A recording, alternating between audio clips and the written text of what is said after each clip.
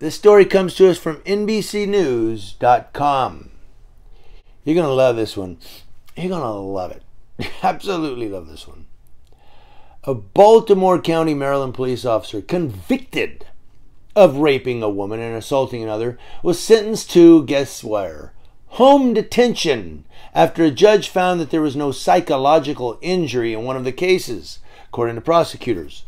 No psychological injury? Oh, no, you're not raped. You don't have psychological injuries. A rape victim would have psychological injuries. You know what, Judge? I think you got psychological injuries. Who is it? Well, Baltimore County Circuit Judge Keith Truffer suspended 11 years of a 15 year prison term and ordered the officer Anthony Westerman to serve it at home.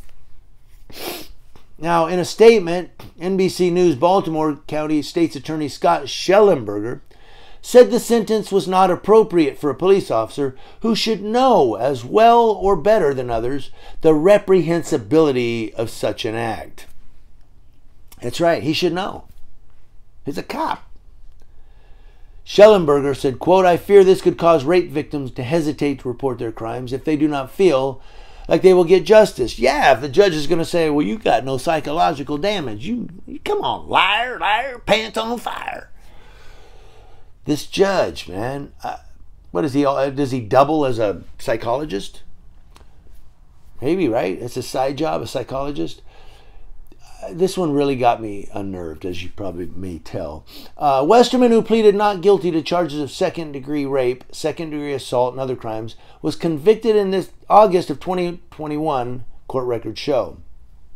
Now, he was arrested in 2019 after two women accused him of rape. In one case from 2007, a woman said that after she drank too much, Westerman offered to arrange an Uber ride home. She told authorities she passed out and awoke to him raping her at his house. Some people will blame her and say, well, she drank too much, and that doesn't give him the right to do what he did.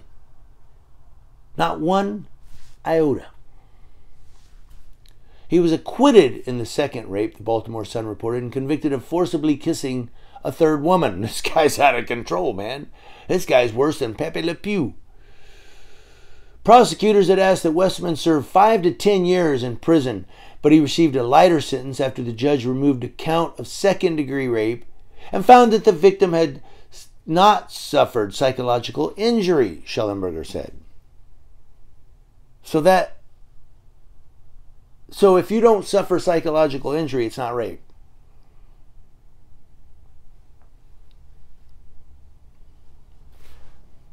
What world am I in right now? Baltimore County Police Officer Anthony Westerman was sentenced to house arrest after being convicted of rape. Court records show he and the woman were drinking at a bar. He called a ride share to take them back to his home. The woman passed out and woke up to Westerman forcing himself on her. The 27 year old was convicted of two counts of second degree rape along with other charges. He was officially sentenced to 15 years in prison, but the judge suspended all but four years of home detention.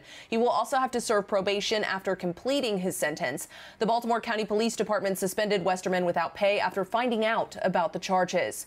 Katie Johnston for CBSN, Baltimore. But here's one where this, this guy, I mean, literally, he's out there just on women, just mm, mm, mm, doing that, all kind of unwanted activity, and he gets four years home confinement. Hey sis, bring me a sandwich. Bring me some groceries too.